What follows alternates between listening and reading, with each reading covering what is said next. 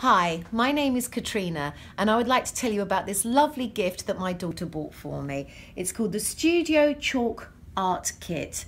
And as you can see, it comes with this great board.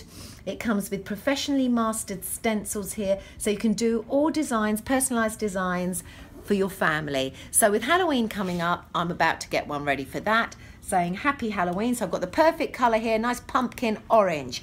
And I, then with Christmas coming up, I've got the green, I've got the metallic colours that you can use. So I can do all personalised Merry Christmas, Happy Holidays, all different messages for my family.